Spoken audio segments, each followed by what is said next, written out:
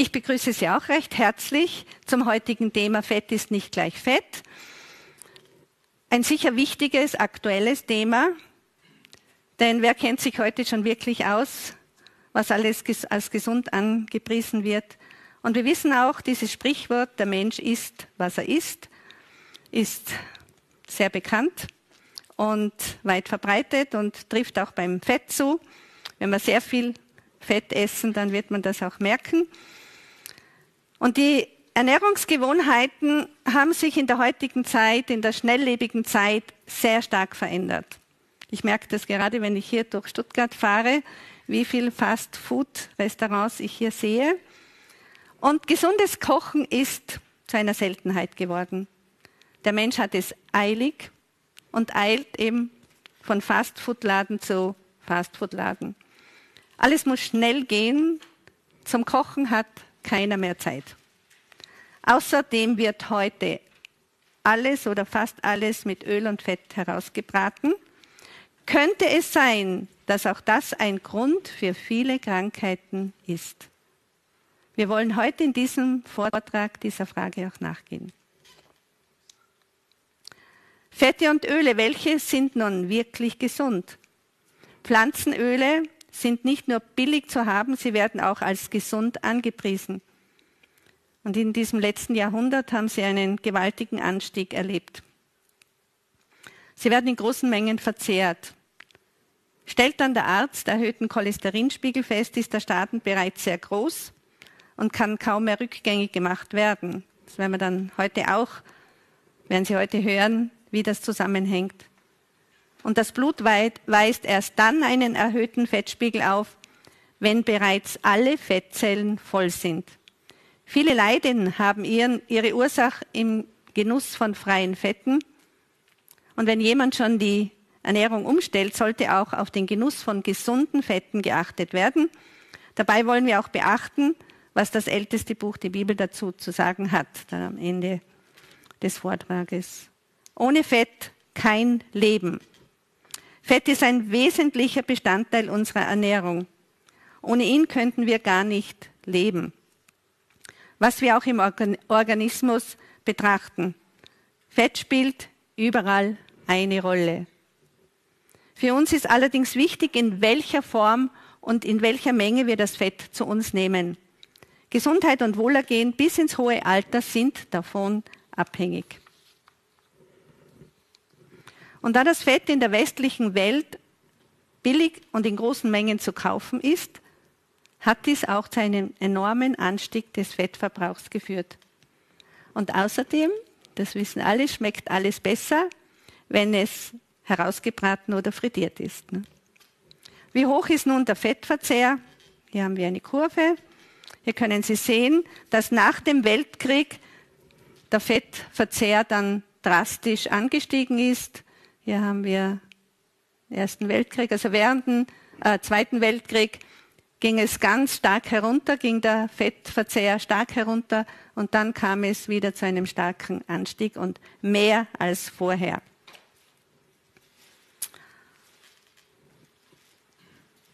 Wie ist es mit dem Cholesterinspiegel? Also der, mit diesem Verbrauch an Fetten ist auch gleichzeitig der Blutfettspiegel und auch der Cholesterinspiegel angestiegen. Der Cholesterinspiegel wird ja von fast allen Ärzten kontrolliert und wir können heute schon fast von einer Cholesterinphobie sprechen. Fast jeder kennt seinen Cholesterinwert und der ist meistens zu hoch. Und welche Nahrungsmittel führen nun zu einem hohen Blutfett- oder Cholesterinspiegel? Es gibt also sehr viele versteckte Fette in Wurst und Fleisch. Dann in allen industriell hergestellten Nahrungsmitteln ist mehr oder weniger viel Fett drinnen.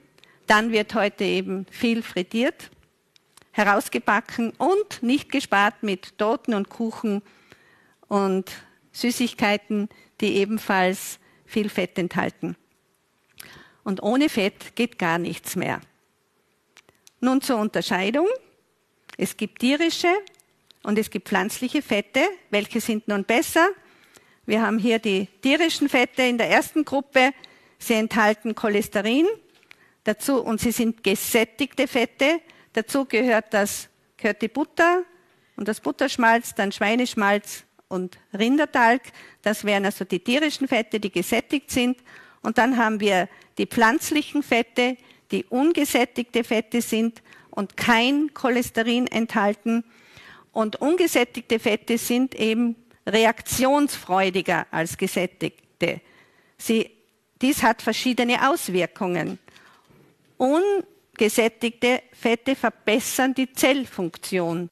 Dadurch ist die Rezeptorentätigkeit auch für Insulin besser. Und zu den Pflanzenfetten gehören die raffinierten Öle, Margarine, kaltgepresste Öle und Kokosfett. Und äh, wie gesagt, noch zu den ungesättigten Fetten. Wie, das, wie der Name schon sagt, sie sind noch nicht ganz satt. Sie haben also noch die Fähigkeit, etwas aufzunehmen oder Verbindungen einzugehen. Und deshalb sind sie auch wertvoller. Und dieser Boom hat aber dazu geführt, dass ein gewaltiger Anstieg des Fettkonsums von Seiten der pflanzlichen Fette geschehen ist. Ne? Also immer wenn etwas gut ist, dann wird es meistens in riesigen Mengen verzehrt, ne? weil man glaubt, da tut man seinem Körper was Gutes. Ne? Und dem ist aber nicht so. Nun zu den Aufgaben der Fette. Sie haben also verschiedenste Aufgaben. Sie bauen also unsere Zellwände auf, dann sind sie eine Energiequelle. Wir brauchen also Fette auch. Also Fett wird in Energie umgewandelt, aber genauso Kohlenhydrate. Ne? Dann die inneren Organe werden warm gehalten durch das Fett. Es ist wie gesagt ein Brennstoff. Dann, was wichtig ist, die roten Blutkörperchen werden geschmeidig gehalten durch Fette. Wenn natürlich zu fett, viel Fett vorhanden ist, dann kleben sie zusammen. Das ist wieder der Nachteil. Aber sie brauchen auch Fett, um sie geschmeidig zu halten, damit sie eben gut äh, unseren Körper durchwandern können, vor allem die Kapillaren.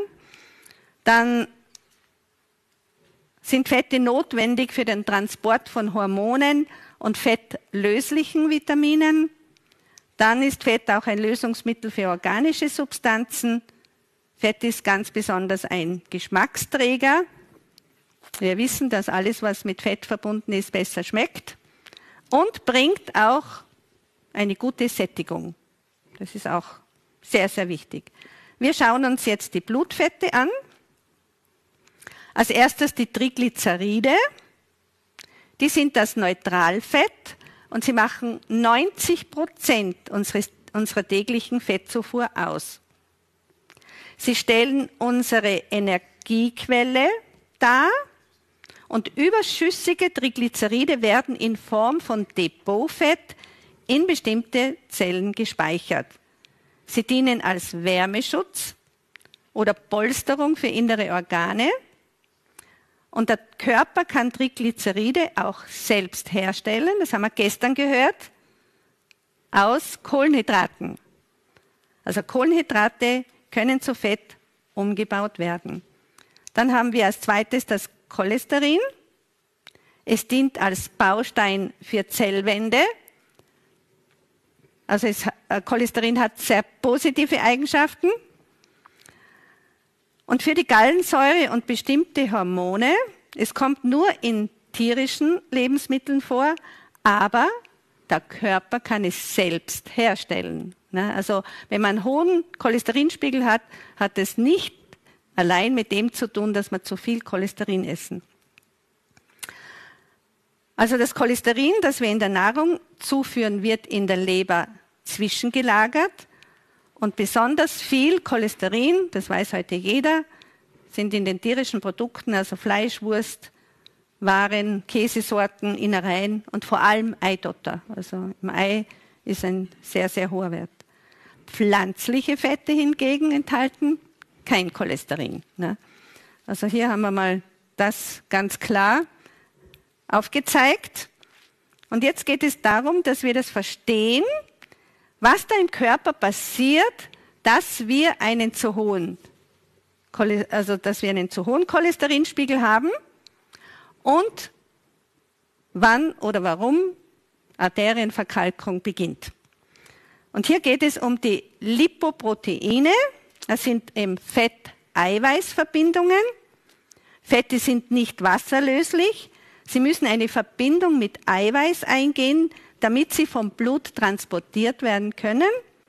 Und es gibt drei Arten von Lipoproteinen.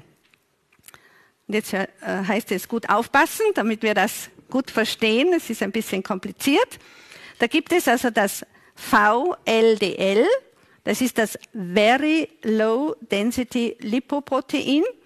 Es hat eine geringe Dichte und als VLDL-Verbindung werden Triglyceride, wir haben gehört, also 90 Prozent der Fettzufuhr werden in Triglyceride umgewandelt, also Triglyceride und Cholesterin von der Leber weg im Blut transportiert und im Gewebe abgegeben. Also das wird jetzt im Gewebe abgegeben und daraus entstehen dann aus diesem VLDL das LDL. Und vielleicht, hier haben wir eh schon den unteren Satz, dass Sie hier das schon registrieren. Es gibt ein gutes und ein schlechtes Cholesterin. LDL ist also das schlechte Cholesterin. Und diese LDL-Verbindungen versorgen die Zellen mit notwendigem Cholesterin. Also das wäre jetzt noch nicht schlecht. Dazu besitzen eben die Zellen an ihrer Außenwand Rezeptoren, die die LDL-Verbindungen wie einen Magnet aus dem Blutstrom anziehen. Ist jetzt die Zelle ausreichend versorgt, reduziert sie automatisch die Rezeptoren. Und als Folge wird weniger LDL-Cholesterin aufgenommen. Und wo bleibt es dann? Im Blut. Also verstehen wir das? Wenn, genug, wenn wir jetzt zu viel Fett essen und die Zellen sind voll, dann reduziert er die Rezeptoren. Und dadurch kann das dann nicht mehr aufgenommen werden. Also der hohe Fettverzehr ist auf jeden Fall ein Negativum. Und jetzt gehen wir weiter. Jetzt schauen wir uns das also hier wird VLDL zu LDL. Und jetzt kommen wir zum LDL, das Low Density Lipoprotein. Es hat eine geringe Dichte, wird sehr viel Fett gegessen und Cholesterin zugeführt, steigt der LDL-Spiegel an, also das ist das schlechte Cholesterin. Und wird dieses Cholesterin nicht verbraucht, wenn zu viel gebildet ist, wenn zu viel da ist, wird es an die Gefäßwand gedrückt und das ist der Beginn der Arterienverkalkung. Diese geht langsam vor sich und wird erst bemerkt, wenn die Gefäße zu schon 80 Prozent verschlossen sind. Und jetzt kommen wir zum guten Cholesterin, das HDL-Cholesterin, das High Density Lipoprotein, das eine hohe Dichte aufweist HDL-Verbindungen holen das Cholesterin aus den Gefäßwänden heraus und transportieren es zur Leber, wo es in Form von Gallensäure in Verbindung mit Ballaststoffen über den Darm ausgeschieden werden kann. Und das ist das Interessante, das habe ich schon vor 25 Jahren gehört, in Vorträgen, dass Arterienverkalkung rückgängig gemacht werden kann.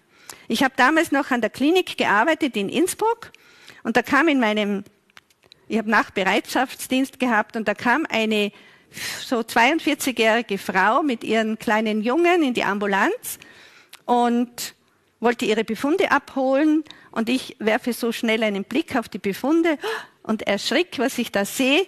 Und ich habe gerade einen Monat vorher die Vorträge gehört, dass Arterienverkalkung rückgängig gemacht werden kann. Und da haben wir gedacht, oh, die hat 80 Prozent Verengung schon an der Halsschlagader, die ist ja ein Todeskandidat. Da muss ich, da muss ich das Angebot machen. Und dann habe ich sie gefragt, ob sie bereit wäre, eben so ein Gesundheitsprogramm zu machen mit der Ernährung. Und sie hat gesagt, ja, aber sie hat kein Geld. dann habe ich gesagt, nein, ich zahle das alles, ich bringe das vorbei. Ich war einfach, ich wollte wissen, geht das wirklich, funktioniert das wirklich? Und sie war ja an meiner Ambulanz und ich habe ja das dann immer auch kontrollieren können durch die Untersuchungen. Und sie war dann tatsächlich bereit. Wir haben also miteinander gearbeitet. Sie hat auch viel Bewegung gemacht. mit dem Fahrrad und sie hat eine ganz fettfreie oder fast fettfreie, ganz fettarme Diät von mir verordnet bekommen, so wie ich das auch gelernt habe, wie man in diesen Programmen arbeitet und habe ihr das zusammengestellt, habe ihr gezeigt, wie man das kocht. Und sie hat das wirklich einige Monate ganz streng durchgeführt. Und dann war sie wieder in der Ambulanz. Und sie hat auf einer Seite hat sie 60 Prozent Verengung und auf einer 80 Prozent. Und sie ist oft auf der Straße zusammengebrochen, nämlich wenn sie den Kopf gedreht hat, dann ist plötzlich das zugegangen und sie äh, ist bewusstlos zusammengebrochen. Ne? Deshalb war es für sie schon sehr wichtig, jetzt etwas zu tun. Und tatsächlich waren nach zwei, drei Monaten die Werte um 20 Prozent herunten. Also die 80 Prozent Verengung war auf 60 Prozent und die andere auf 40 Prozent, also 60 Prozent waren dann auf 40 Prozent herunten. Und deshalb möchte ich auch hier, unser Seminar heißt ja hoffnungsvoll leben, diese Hoffnung weitergeben. Es gibt wirklich Hoffnung auch für Arterienverkalkung die schon so weit fortgeschritten ist, beziehungsweise für Plaques, die sich abgelagert haben an den Gefäßwänden. Und jetzt schauen wir uns eben Arterienverkalkung durch zu viel Fett an.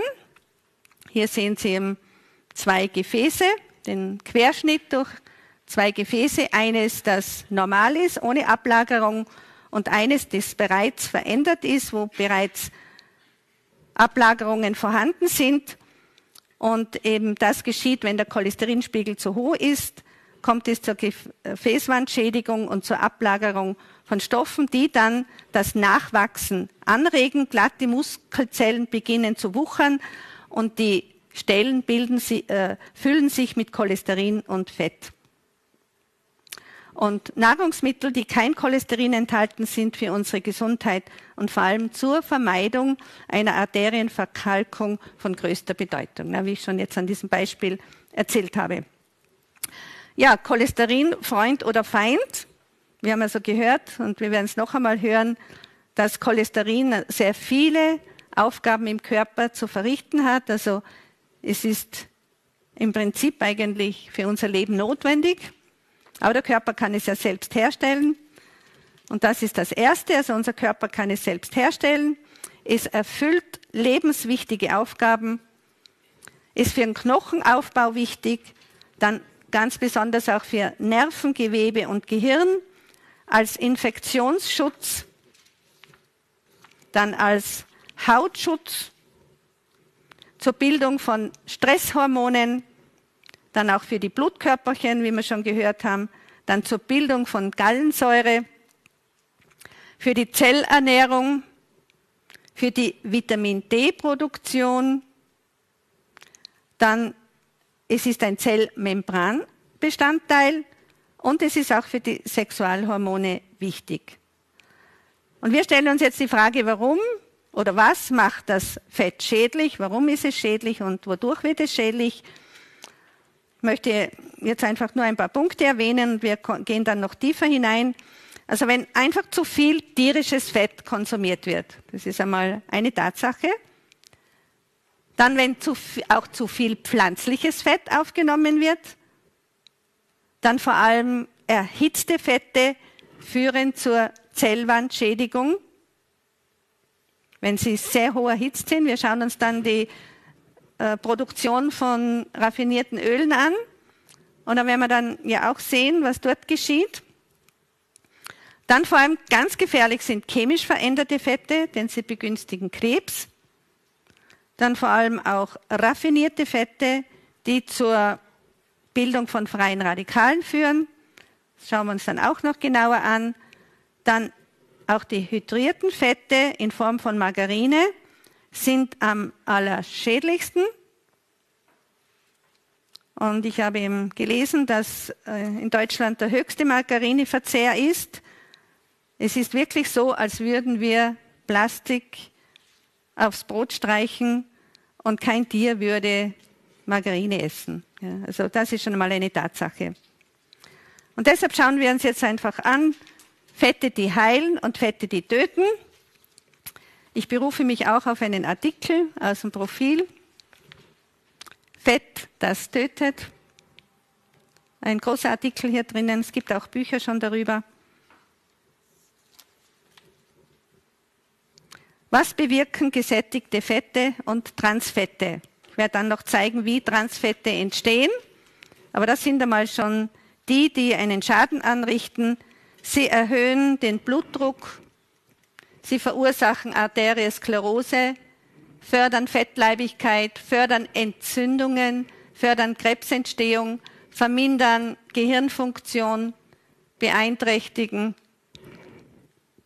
das Sehvermögen, verfetten die Leber, schädigen die Nierenfunktion, fördern Allergien, fördern Depressionen, da gehe ich dann noch näher darauf ein, erhöhen Risiko für Herzinfarkt und Schlaganfall, fördern Diabetes, erhöhen Cholesterin und Triglyceridspiegel, beeinträchtigen das Immunsystem. Das wäre jetzt zu den schädlichen Auswirkungen und Veränderungen in unserem Körper. Und jetzt kommen wir zu den natürlichen Fetten in Nüssen und Samen, so wie es ursprünglich für den Menschen vorgesehen war. Und das ist eben diese Ernährung, die ich auch mit dieser Frau gemacht habe. Ich habe nicht viel Fett gegeben, aber wenn nur etwas Fett durch Nüsse und Samen. Hier haben wir die Auswirkung, dass es den Blutdruck senkt. Wenn diese Ernährung in Kombination mit Bewegung durchgeführt wird, wird der Blutdruck heruntergehen. Sie helfen bei der Fettverbrennung mit. Sie verhindern Krebs, ist also für die Krebsvorbeugung sehr wichtig, diese gesunden Fette zu, zu uns zu nehmen. Dann, sie vermindern Entzündungen. Da könnte ich also viele Erfahrungen erzählen. Dann verbessern die Gehirnfunktion. Wenn ich also bis ins hohe Alter geistig fit bleiben will, ist es wichtig, dass ich gesunde Fette zu mir nehme. Verbessern das Sehvermögen verbessern Nierenfunktion, mildern Depressionen, mildern Allergien oder verbessern das einfach und schützen vor Herzinfarkt und Schlaganfall und helfen mit, den Cholesterin- und Glyceridspiegel zu senken.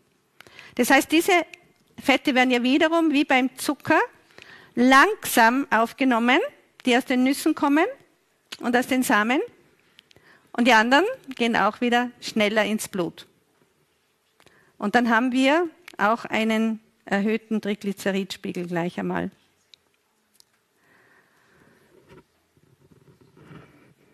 Ja, wie schaut es mit den Nüssen und, aus, äh, und Samen aus? Die sind von Natur aus in einer Schale. Sie müssen geknackt werden. Und dadurch ist es mit Arbeit verbunden. Aber unser Schöpfer hat sich ja etwas dabei gedacht, warum er sie in eine Schale hineingegeben hat, damit sie nicht ranzig werden und damit nicht so viel gegessen wird. Auch mit Nüssen und Samen. Wenn wir jetzt hören, Nüsse und Samen sind gesund und sie fangen dann an, auch wieder riesige Mengen davon zu essen, ist das schlecht. Alles mit Maßen. Und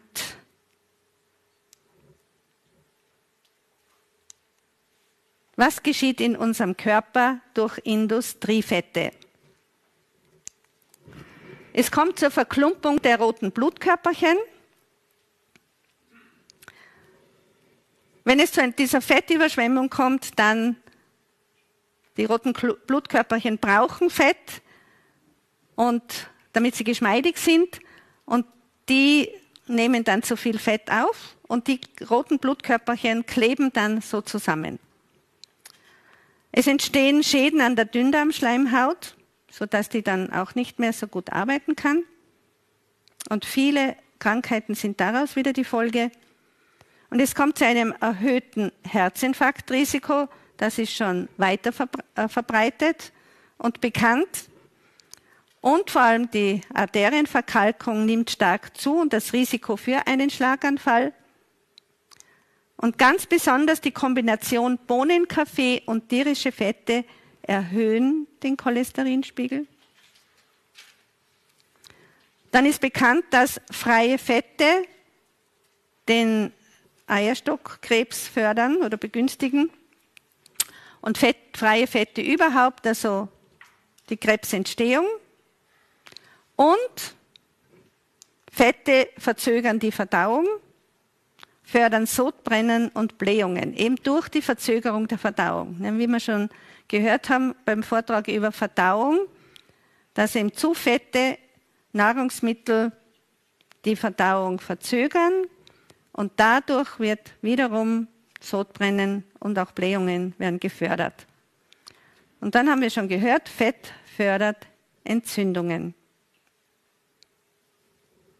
Durch Fett kommt es, jetzt, das ist ein ganz wichtiger Punkt, dass es durch Fett zum Verkleben der roten Blutkörperchen kommt. Also wir sehen hier schon verklebt die roten Blutkörperchen und so schauen die normalen aus.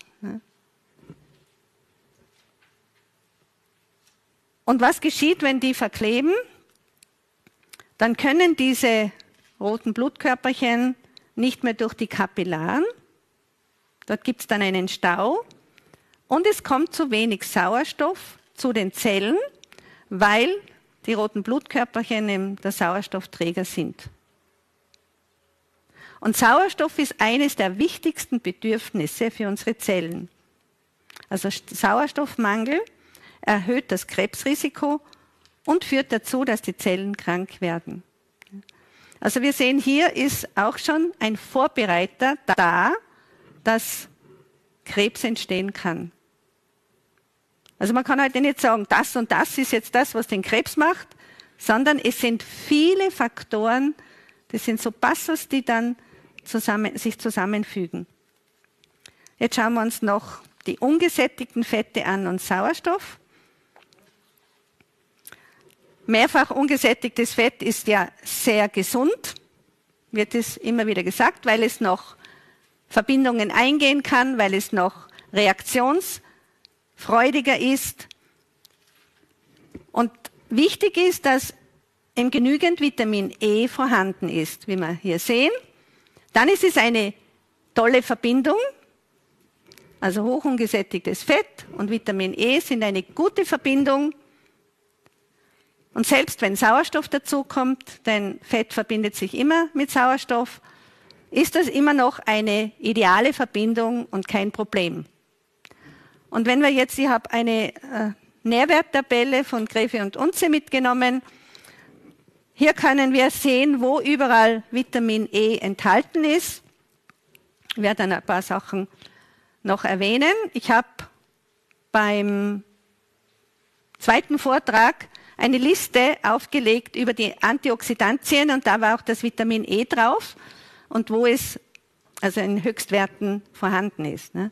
So, das ist wichtig, dass wir das wissen, denn wenn wir Fett zu uns nehmen und zu wenig Vitamin E da ist, dann bilden sich freie Radikale ne?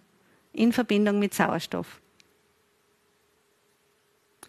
Und damit eine Zelle zur Krebszelle wird, muss immer vorher eine Schädigung durch freie Radikale da sein. Und Sie haben am zweiten Abend gehört, Antioxidantien, da gehört auch das Vitamin E dazu, schützen uns vor freien Radikalen. Wo sind jetzt besonders viel Vitamin E drinnen? Wir brauchen nur 12 Milligramm täglich. Eine 100 Gramm Schwarzwurzel haben 6 Milligramm. Ich lese mal einfach die Höchstwerte vor. Von der Schwarzwurzel isst man ja sicher 100 Gramm. Rotkraut hat 1,7 Milligramm Vitamin E. Spargel ist sehr gut mit 2,1 Milligramm. Kraut mit 1,7 Milligramm. Löwenzahn isst man nicht so viel, hat 2,5 Milligramm. Petersilie isst man auch nicht so viel, hat 3,7 Milligramm. Aber Paprika hat noch sehr viel, 2,5 Milligramm. Und dann die Nüsse, haben sehr viel Vitamin E, aber von denen isst man nicht so viel. Mandeln haben den, Haselnüsse haben den höchsten Wert mit 26,6 Milligramm Vitamin E, Mandeln 25 Milligramm und Sonnenblumenkerne 21,8 Milligramm Vitamin E. Aber man isst ja nicht so viel, gell? nur dass man das weiß. Am zweiten Abend haben Sie gehört, das Krebsrisiko kann um 50 Prozent gesenkt werden durch ausreichend Obst- und Gemüsezufuhr. Jetzt wollen wir ja noch einmal der Frage nachgehen, was freie Radikale sind. Wir haben es am zweiten Abend schon angeschnitten. Hier sehen wir die Schädigung an der Zellwand durch freie Radikale und der Schutz wird durch Vitamin E durchgeführt oder findet statt. Das ist ein Zellschutzvitamin, das Vitamin E. Freie Radikale, schauen wir uns dann gleich an, wie das vor sich geht, dieser Teufelskreis, hier haben wir es. Hier haben wir freie Radikale, dem durch verschiedene Sachen, wie gesagt auch durch die Ernährung, entstehen können und sie greifen hier eine Zelle an. Und hier wird dann oder werden die Phospholipide zerstört, haben wir hier, an der Zellmembran. Und dabei entstehen entzündungsfördernde Substanzen, die abermals freie Radikale erzeugen. Und so kommen wir hier in einen, einen Teufelskreis hinein. Und ich habe das selbst auch bei mir erlebt, immer nach einem, einer Mahlzeit mit viel Fett, wenn ich irgendwo eingeladen war, bekam ich Schmerzen, Entzündungen und Schmerzen. Ja. Also es muss nicht jeder so empfindlich sein, aber wenn irgendein Mechanismus gestört ist im Körper, kann das dann natürlich viel schneller auftreten. Aber soll man einfach wissen, dass das damit zusammenhängt und heute hat, hat man schon sehr vieles erkennen können, wie das zusammenhängt. Jetzt wollen wir uns die Transfette anschauen. Die waren ja in den letzten Jahren in vieler Munde, in vielen Medien. Und damit wir das verstehen, wir werden dann auch noch anschauen, wie Transfette entstehen, aber jetzt hier, was sie an unserer Zelle, an unseren Zellen anrichten.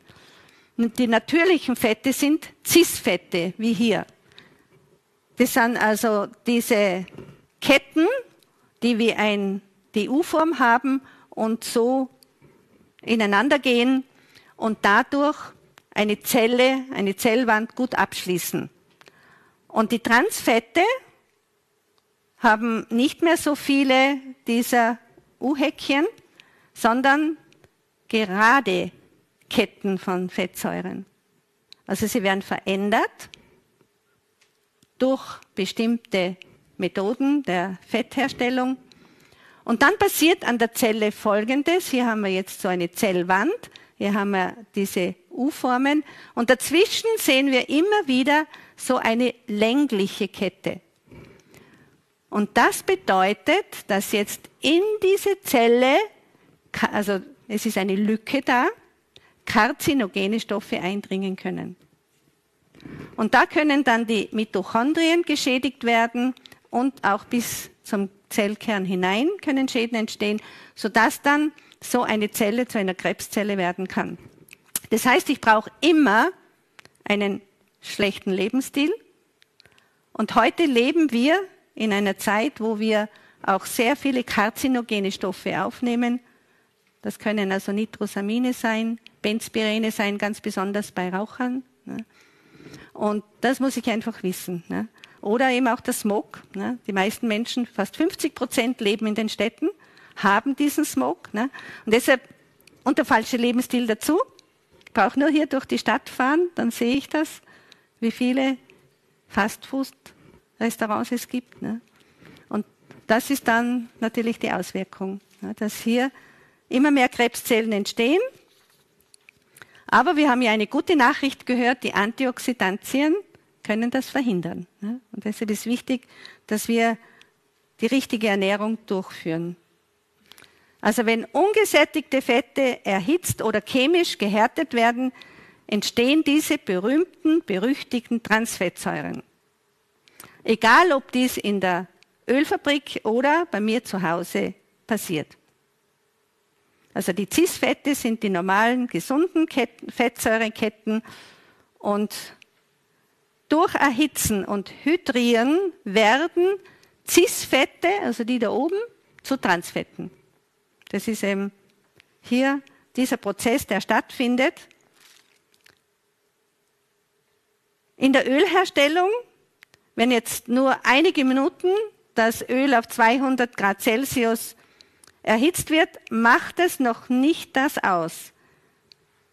Laborversuche mit höheren Temperaturen und länger dauernden Hitze ergaben jedoch, dass sie bei aggressiveren Verfahren ein Drittel der Alpha-Linolensäure äh, und Translinolensäure umwandelten. Also dass ein Drittel dieser Linolensäure zu Transfettsäure umgewandelt wurde. Also das ist hier der Prozess, der stattfindet. Und jetzt schauen wir uns Krebs, also Transfette und Krebs an. Also Transfette sind maßgeblich daran beteiligt, dass bei uns die Krebsstatistik so rasch nach oben klettert. Es braucht eben erstens immer den, äh, die Schädigung der Zellwand, wie wir hier sehen. Hier sehen wir ein Loch in der Zellwand und auch den falschen Lebensstil und krebserregende Substanzen, wie ich schon erwähnt habe. Und das wird jetzt für Sie interessant sein. Wo finde ich wie viel Prozent an durchschnittlichen Transfettgehalt in welchen Nahrungsmitteln? In den Pommes haben wir 38 Prozent. In Keksen haben wir 23 Prozent. In Fertigsoßen 33 Prozent. In Croissants 18 Prozent. In Toastbrote auch 18 Prozent. In Müsliriegel 11 Prozent. In Margarine 5 Prozent und in Kartoffelchips auch 5 Prozent. Also das ist ein wichtiges Wissen. Ich habe jetzt nur also diese auf, auf die wichtigsten aufgezählt. Die anderen sind alle etwas niedriger. Gell? Aber ich denke auch, dass überall, wo pflanzliches Fett angegeben ist, wird es also teilweise auf jeden Fall ein Transfett sein.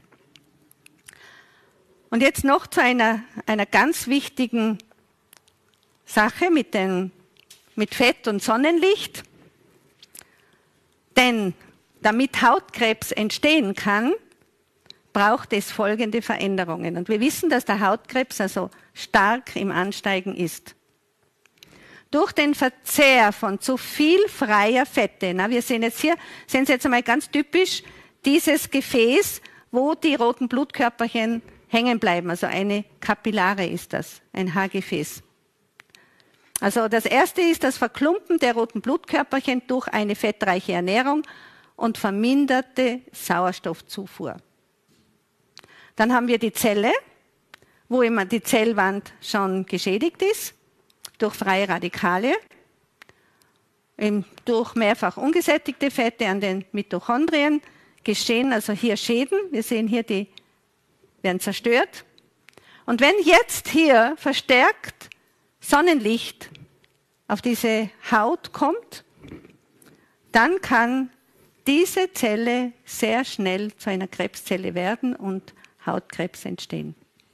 Das wäre also die Erklärung dafür, dass der Hautkrebs so im Zunehmen ist. Es kommt auch darauf an, das Sonnenlicht brauchen wir, aber auch wieder in Maßen. Und wie ist das heute mit den Menschen? Sie fahren auf Urlaub, die Haut ist nicht vorbereitet für diese massive Sonneneinstrahlung und dann wird noch dazu am meisten frittiertes im Süden gegessen. Ich war selber sehr viel am Meer und ich habe gesehen, was hier in den Küchen zubereitet wird. Wir hatten dann selber einen Campingbus und haben uns immer selber gekocht. Und wir konnten dann wirklich seinen Urlaub gesundheitsbringend verbringen ne? und nicht schädigend. Ne? Aber durch diese massive Einstrahlung der Sonne auf die Haut und diese starke oder diese lange Zeit und diese starke Einstrahlung plus schlechten Lebensstil kommt es dann vermehrt zu Hautkrebs. Ich habe also diese Informationen aus dem Buch Sonnenlicht und Gesundheit von Dr. Keim, aber dieses Buch gibt es nicht mehr. Dann Fett und Gehirn, das wird Sie wahrscheinlich auch interessieren. Alzheimer und Demenz.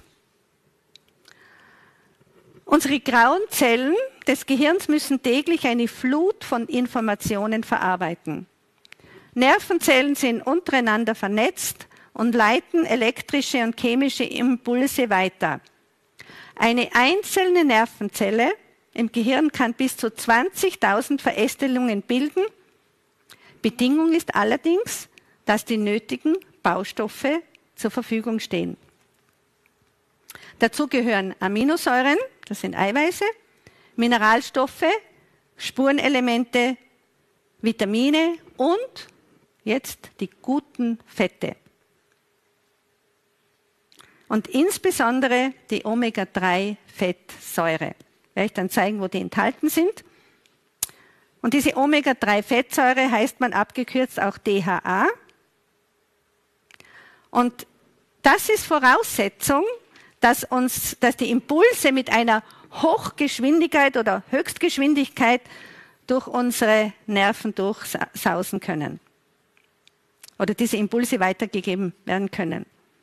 Und diese Omega-3-Fettsäure sorgt für reaktionsfreudige, flexible und funktionstüchtige Gehirnzellen. Fehlt also diese Fettsäure im Körper, das ist jetzt ganz was Wichtiges, wird, werden andere Fette als Baumaterial verwendet. Und das ist jetzt wieder bei Depressionen sehr wichtig. Der Körper baut dann Omega-6 oder Omega-9-Fettsäuren ein, die also in den normalen Speiseölen vorhanden sind, führen zu einer verstärkten Entzündungsneigung im Gehirn und permanente Entzündungszustände im Gehirn werden von Fachleuten als Mitursache für Depressionen, Demenz und Alzheimer angesehen. Also sind in der täglichen Ernährung Transfette enthalten, werden auch diese Transfettsäuren im Gehirn abgelagert. Diese gehärteten Fette sind bei Körpertemperatur fest. Werden Transfette als Bausubstanz für Gehirnzellen verwendet, werden diese fester, starrer, unflexibler und träge. Verstehen wir jetzt, was da mit unserem Gehirn passiert? Es hat eine Auswirkung auf meine Denkleistung und dann natürlich auch darauf, dass frühzeitig Demenz oder Alzheimer entstehen kann. Ja, der Mensch ist, was er ist. Das hat eine neue Bedeutung, wenn man das weiß. Und ich habe auch gehört, dass bei Alzheimer Eiweißschlacken aggressiv werden und nicht ausgeschieden werden können und sich ablagern. Und dass auch bei älteren Menschen Vitamin B fehlt im Gehirn.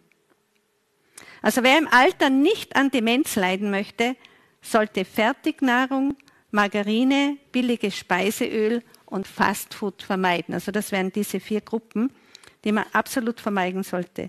Auch chronische Entzündungen werden durch zu viel Omega-6-Fette und einem Mangel an Omega-3-Fetten gefördert. Ich habe mir vor 30 Jahren, als ich, ich habe also auch ein Altersheim geleitet eine Zeit lang und war auch in der Hauskrankenpflege tätig. Also ich hatte da fast nur mit alten Menschen zu tun, mit Pflegebedürftigen. Und ich habe mir damals die Frage gestellt, was kann ich tun, damit ich nicht so ende? Ne? Und das bekommt jetzt umso mehr Bedeutung. Ich habe damals noch nicht so genau Bescheid gewusst über diese schädlichen Fette, und was, wie das im Körper vor sich geht. Aber heute haben wir schon sehr viele Erklärungen dafür.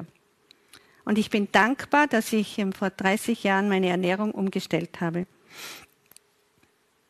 Jetzt kommen wir zu der Gehirnfettsäure, zu der Omega-3-Fettsäure, die auch als DHA bezeichnet wird. Und sie ist in folgenden Nahrungsmitteln enthalten. Wir haben einmal die Leinsamen, mit 16,7 Gramm.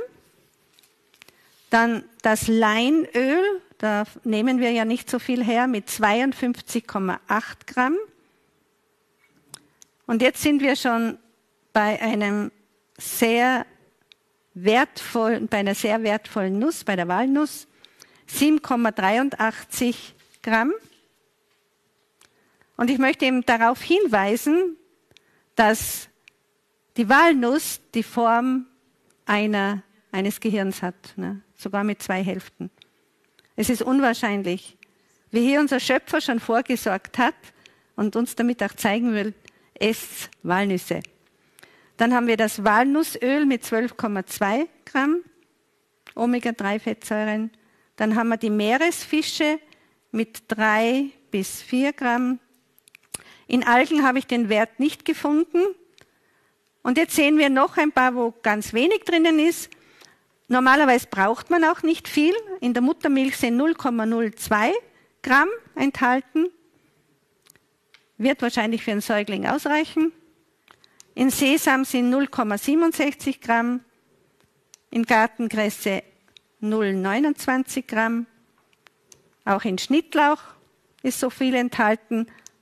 Und in Grünkohl 0,35 Gramm. Also Sie sehen, wenn wir diese Nahrungsmittel einsetzen, dann werden wir ständig mit, auch wenn es nur kleine Mengen sind, aber wir werden gut versorgt mit den Omega-3-Fettsäuren, auch sogar aus den Pflanzen.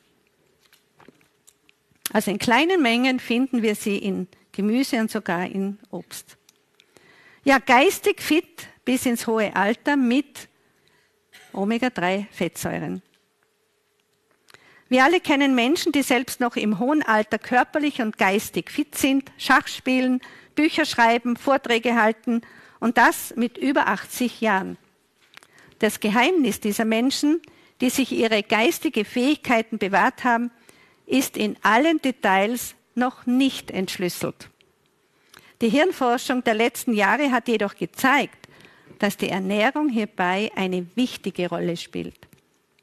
Zu den Nähr- und Vitalstoffen, die unser Gehirn benötigt, gehören, wie wir schon gehört haben, also die Glucose, aber wie gesagt, am besten aus den komplexen Kohlenhydraten, dann B-Vitamine, die in Getreide und Nüssen enthalten sind, dann Vitamin C in Obst und Gemüse, dann Aminosäuren,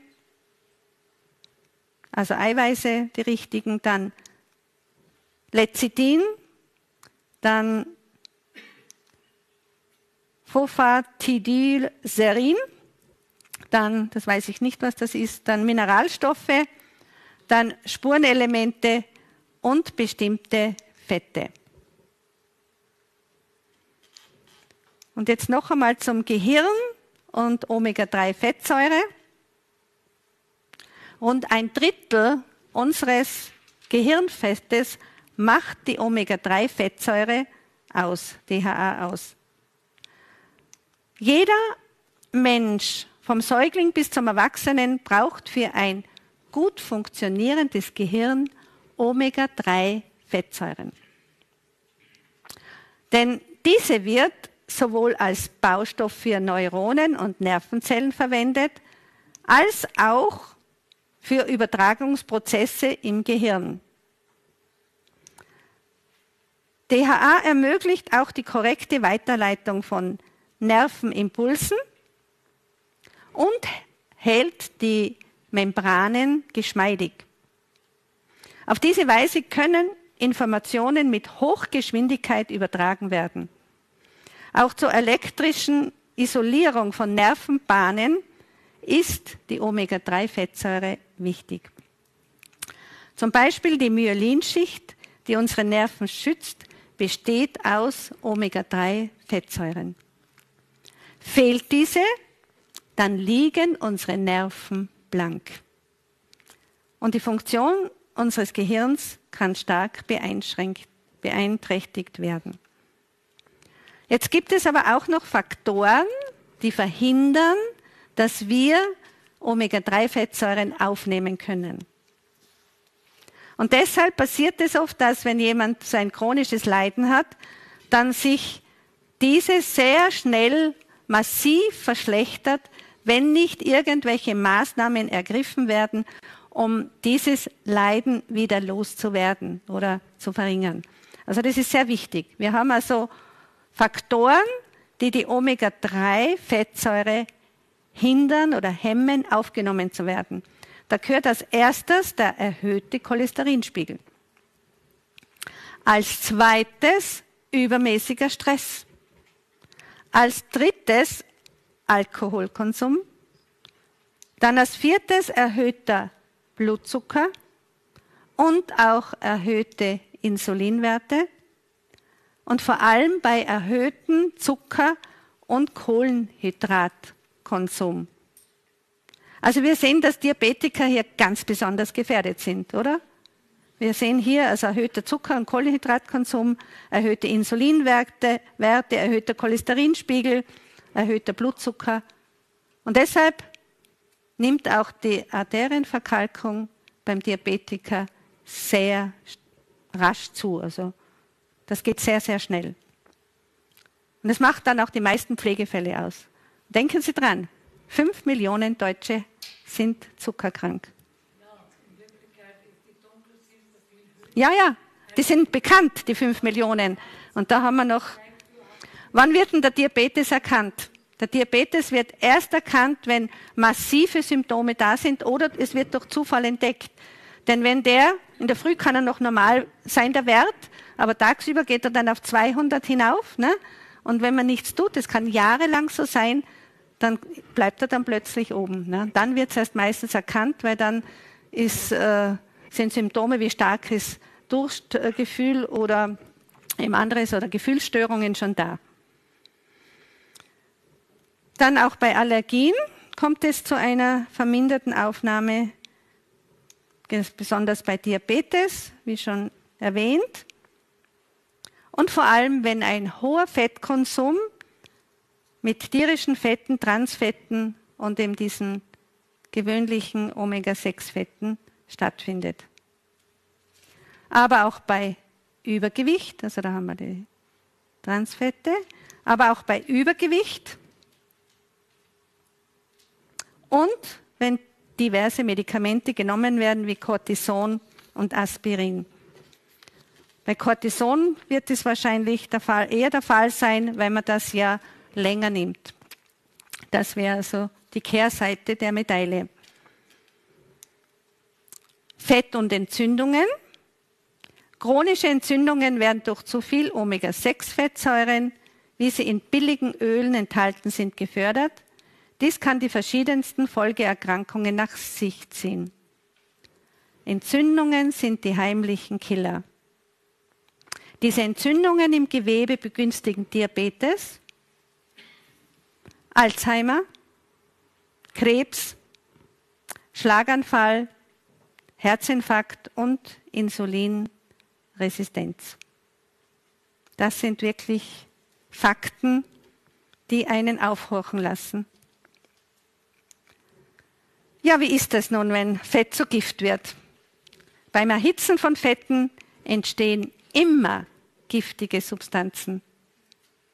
Also hier haben wir den Artikel. Es ist nicht so unbekannt. Manchmal dringt auch was an die Öffentlichkeit.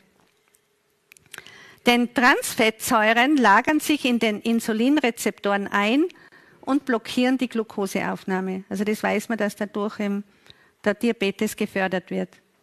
Und Transfette werden im Körper als Müll abgelagert. Hauptverursacher für die Millionenkrankheit Diabetes sind die Transfettsäuren. Teilweise gehärtete Fette sind am schädlichsten. Sie sind in Schokoriegel, in Keksen, in Gebäck, in Pommes, in Chips und in Fertignahrung enthalten. Wenn hier drauf steht, also Pflanzenfett, es steht manchmal gehärtetes Fett drauf, aber wenn Pflanzenfett draufsteht, Sie wissen es nicht, was das für ein Fett ist. Ne? Und diese Killerfette, wie man sie auch bezeichnen darf, sind in fast allen Fertignahrungen enthalten.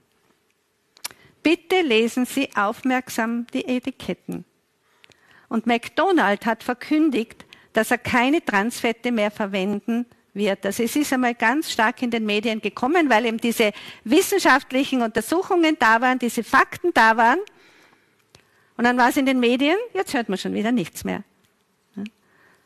Aber gesunde Fette sind schlichtwegs zu teuer und nicht rentabel. Deshalb werden sie auch nicht verwendet in der Industrie. Das ist eine Tatsache. Ja, wenn Fette zu Gift werden, ist in unseren Küchen ein Ölwechsel angesagt. Braten und Frittieren meiden. Ich werde dann eine Tabelle zeigen, was für Öl man verwenden kann zum Braten und welches nicht. Da gibt es eben zum Braten das Palmöl oder Kokosöl. Aber wir zeigen das Andünsten mit Zwiebeln ohne Fett. Wir nehmen dazu ein bisschen Gemüsebrühe oder Gemüsebrühpaste und wir vermeiden also alles, was angebraten wird. Auch die Leibchen, die wir am Sonntag machen werden, die Sonnenblumenkernleibchen, werden in einer beschichteten Pfanne ohne Fett gebacken. Sie sollen das einmal kennenlernen, wie sowas schmeckt. Ich brauche dann allerdings eine gute Soße dazu, weil es ein bisschen trockener ist, denn alles, was in Fett heraus gebacken wird oder gebraten wird, ist ja saftiger und vor allem ist Fett ein Geschmacksverstärker.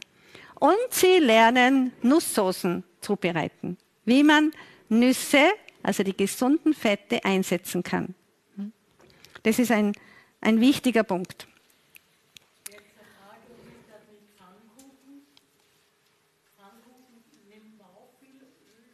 Ja. Also ich habe schon, ich habe sie schon gemacht ohne Fett. ja, in der beschichteten Pfanne ist alles möglich. Es ist wirklich ein Lernen. Aber ich möchte jetzt dieses Bild über Fette komplettieren und zeigen, wie Öle hergestellt werden. Sie sind sicher gespannt, dass Sie einfach wissen, allein wenn man weiß, wie Öl und Fett hergestellt wird, dann tun wir uns schon leichter, wenn wir dann, also wir können dann selber erkennen, welches Fett wir verwenden sollen und welches nicht. Wir schauen uns jetzt die kaltgepressten Öle an. Ich habe von der Firma Fandler diese Bilder zur Verfügung gestellt bekommen und ich war ganz erstaunt. Ich werde mir heuer diese Ölpresse anschauen, weil es mir immer wichtig ist, dass es auch Öle gibt, die wirklich nicht hoch erhitzt sind. Und die dann tatsächlich die Öle mit 40, 50 Grad pressen. Also die Samen werden mittels Ölmühle gemahlen, alles schonend. Hier haben wir so eine Ölmühle. Dann werden sie niedererwärmt. Das höchste ist also in manchen Ölmühlen mit 70 Grad. Liest man auch, aber die sagen 40 bis 50 Grad. Das ist in Österreich, diese Mühle. Sie werden schonend hergestellt, sind naturbelassen, sind aus der Erstpressung, sind hochwertige Öle, enthalten noch reichlich Vitamin E. Und sie werden mittels Seierschneckenpressen hergestellt. Also das ist dieses schonende Verfahren. Und dadurch erhitzt sich das Saatgut nicht so stark.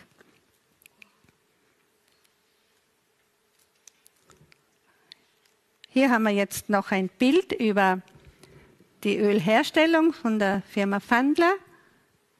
Hier haben wir dann diese Presse und hier kommt dann, also zuerst wird, ist es gemahlen worden mit diesen Schnecken. Und hier wird es dann gepresst, aber auch schonend gepresst.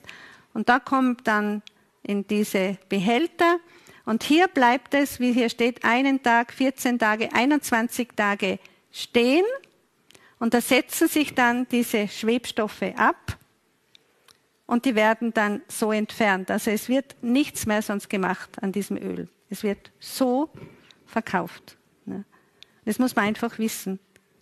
Und ich habe immer gesagt, wem kannst du da überhaupt glauben? Und jetzt bin ich eigentlich froh, dass ich weiß, es gibt eine Mühle, eine Ölmühle, wo ich mir das anschauen kann.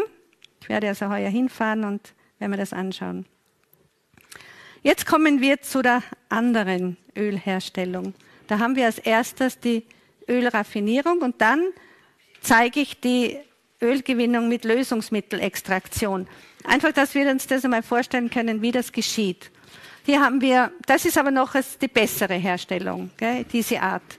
Hier haben wir die Saaten, sie werden also da mit einer Walze gemahlen, dann eben mit Wasser vermischt und bereits 30 Minuten auf 110 Grad erhitzt.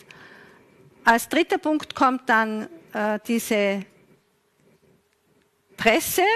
Mit Druck wird hier gearbeitet. Hier haben wir das Saatgut und das erhitzte, die erhitzte gemahlene Saat wird hier gepresst und dann kommt das Öl heraus. Hier haben wir also auch Stoffe dabei, die müssen ja entfernt werden. Das wird hier mit Wasch- und mit Bleichmittel getan. Und hier wird dann das Öl auf 165 bis 190 Grad für 12 Stunden erhitzt und unter Vakuum zur Geschmacks, also unter Vakuum und zur Geschmacksverstärkung, Verstärkung, Verbesserung. Also hier sehen wir schon eine lange Zeit der Erhitzung. Das ist schon einmal nicht gut. Und dann kommen noch Antioxidantien dazu. Und da haben wir dann ein raffiniertes Öl. Das ist aber noch die bessere Ölherstellung. Jetzt kommen wir zu dem ganz schlechten, aber da sehen wir auch, was hier also gemacht wird. Du kannst das als erstes sofort mit dem Saatgut eine Hexanfraktion durchführen. Das heißt, ein Lösungsmittel, das ist ein benzinähnlicher Stoff, da wird jetzt das Öl herausgelöst. Oder du hast eine Kaltpressung, die aber auch, also die kann bis 70 Grad gehen, oder eben Heißpressung mit 170 Grad. Und da habe ich dann Trester. Und dieser Trester wandert hier herüber und wird ebenfalls noch, da wird das letzte Öl oder Fett herausgequetscht. Ne? Also so geht also die Lebensmittelindustrie oder die Ölherstellung damit vor. Und hier ist jetzt die Verarbeitung. Hier kommen also diese Öle herein und hier wird einmal entlezitinisiert. Und zwar bei, mit Wasser bei 90 Grad. Hier wird Lecithin entzogen. Das wird dann, Lecithin ist ja an und für sich sehr gut, wird dann in der Lebensmittelindustrie verwendet, wird in die Brote, in die Gebäcke, also lesen Sie mal, das ist fast überall drinnen. Dann kommt Phosphorsäure bei 90 Grad dazu. Hier wird entschleimt und die Schleimstoffe sind dann ein Abfallprodukt. Dann kommt Natronlauge dazu, damit wird dieses Öl entsäuert. Dann wird mit Aktivkohle bei 110 Grad gebleicht und eben, wie gesagt, auch Farbstoffe werden dazugegeben. Dann kommt Wasserdampf bei 200 Grad. Hier haben wir jetzt also einen gefährlichen Prozess, da sind wir schon auf 200 Grad. Und dann wird eben noch deso, deso, desodoriert. Ne? damit eben das dann geschmacksneutral ist. Ne? Weil ein normal natürliches gepresstes Öl hat noch Geschmacksstoffe dabei. So beim Olivenöl schmeckst du einfach noch die Oliven, aber da schmeckst du dann nichts mehr. Und hier habe ich einen Artikel.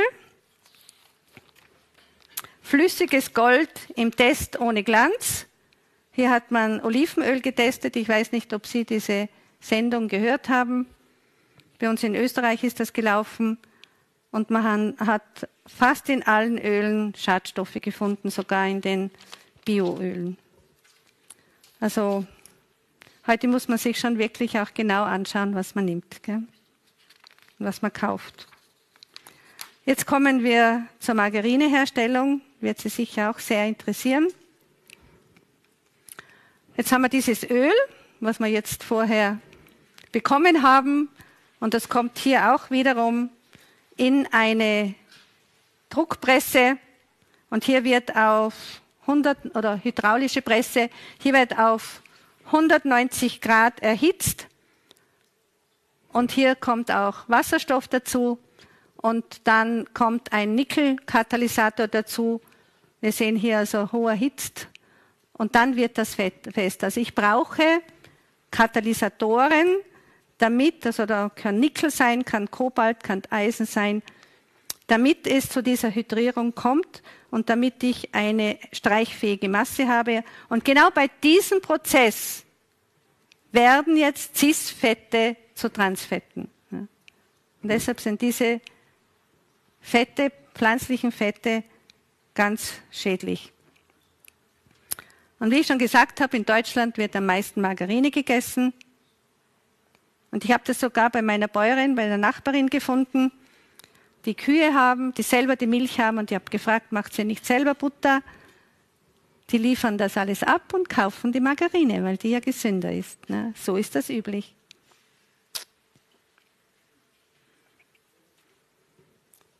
Margarine, Plastik als Brotaufstrich.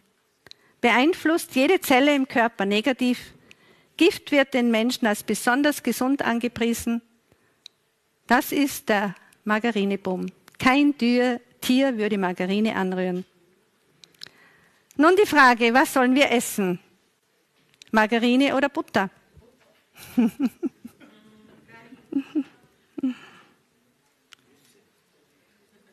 Professor Walter Veit hat gesagt, wollen Sie an Krebs sterben, dann essen Sie viel Margarine. Wollen Sie an Herzinfarkt sterben, dann essen Sie viel Butter.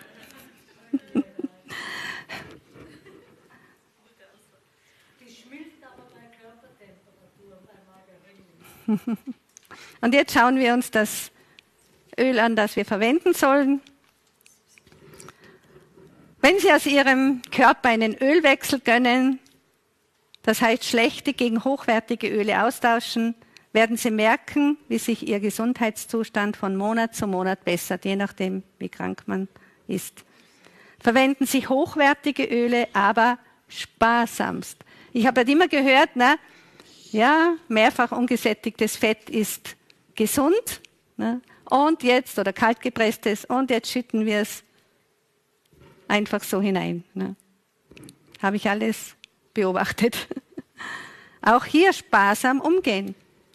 Vor über 100 Jahren verwendete man oder gab es nicht viel Öl und man verwendete es ganz sparsam, denn es war sehr teuer. Genauso wie den Honig. Ne? Den hat man früher auch nur sparsam verwendet.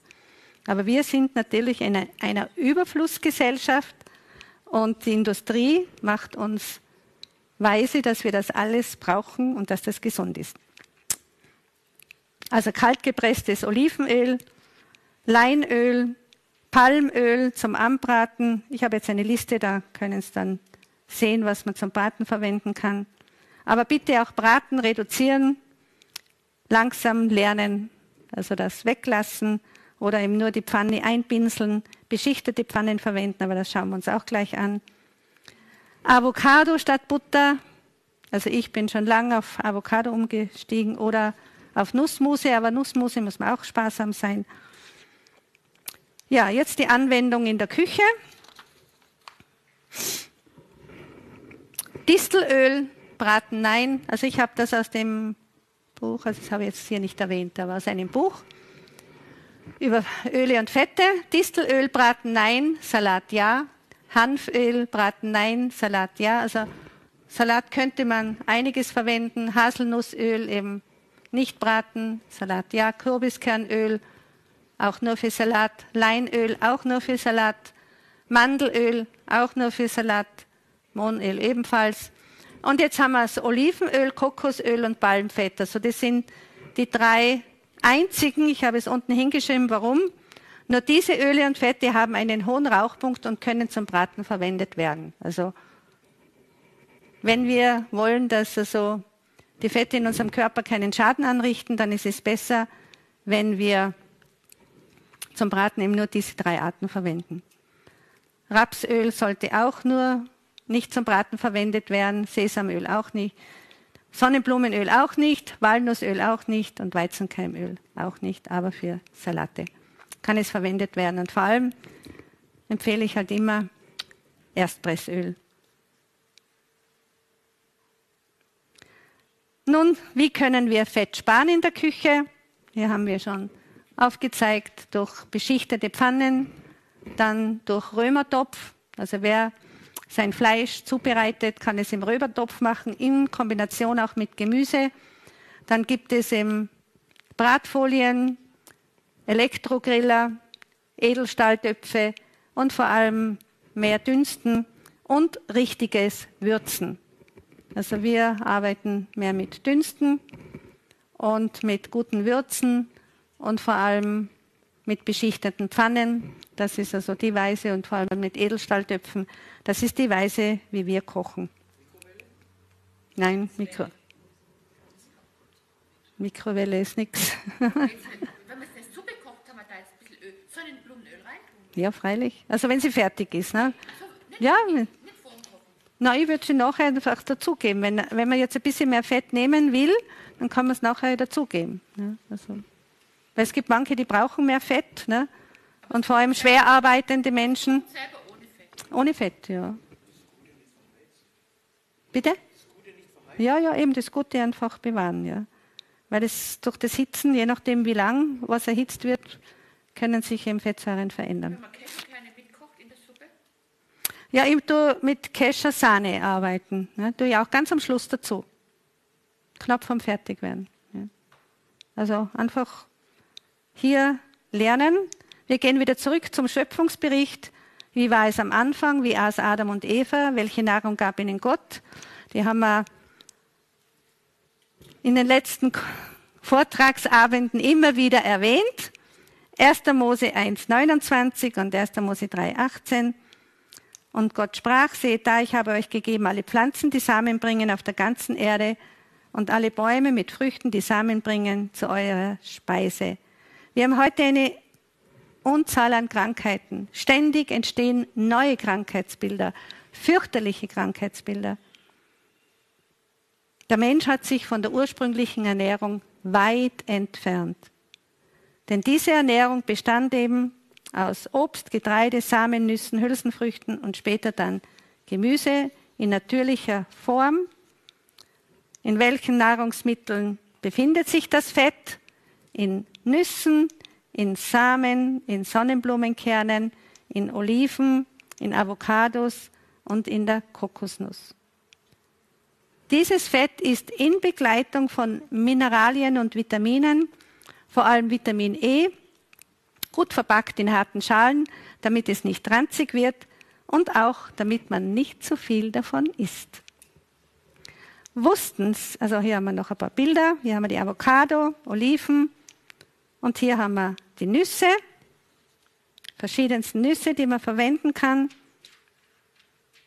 Und wussten Sie, dass zur Herstellung von zwei Teelöffel Maiskeimöl 18 Maiskolben erforderlicher sind, erforderlich sind.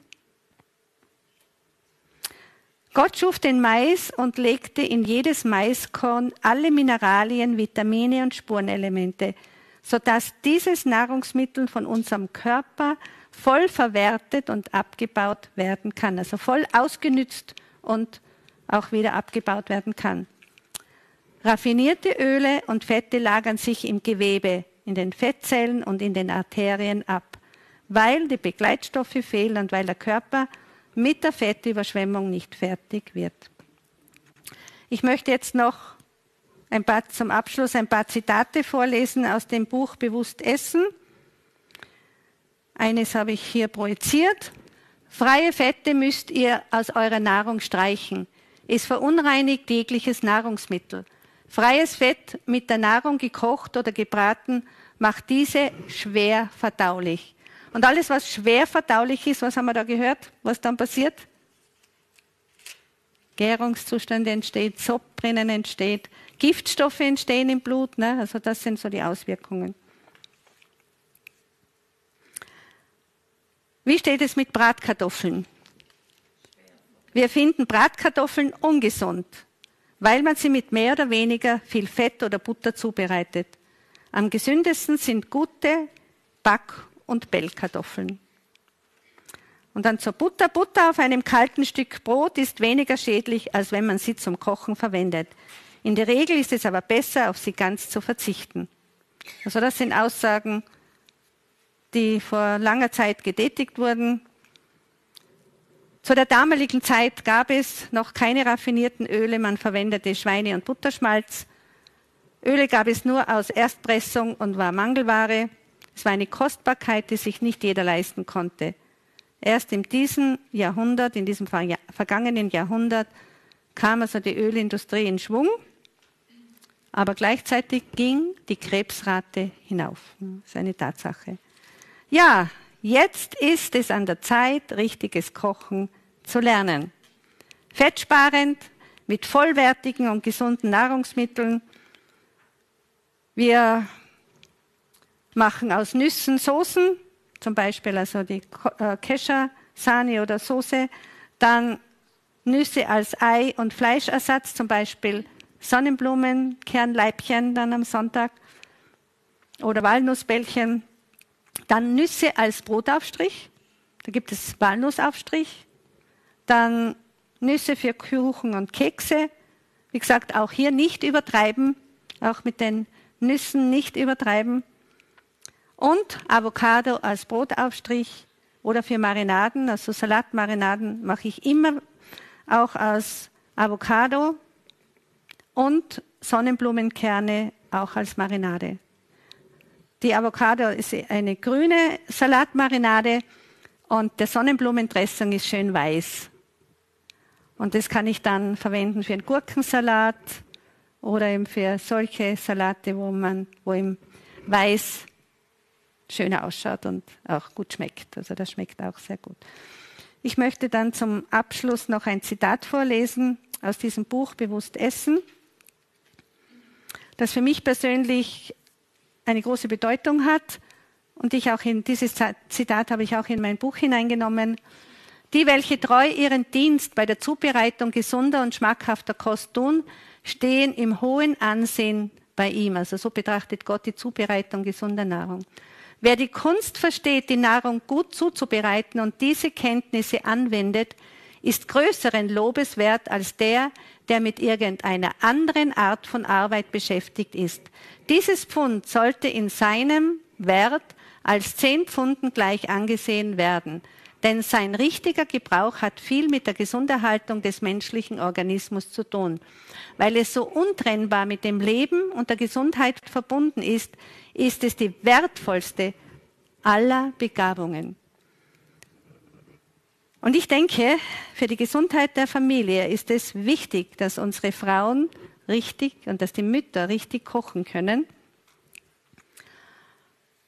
Und ich habe mich selbst sehr früh schon entschieden, nur mal halbtags arbeiten zu gehen, damit ich Zeit habe. Also ich habe die meiste Zeit nur halbtags gearbeitet, damit ich Zeit habe, wirklich auch richtig zu kochen. Denn ein Berufstätiger oder eine berufstätige Frau und Mutter hat keine Zeit dazu. Wenn man ganztags berufstätig ist,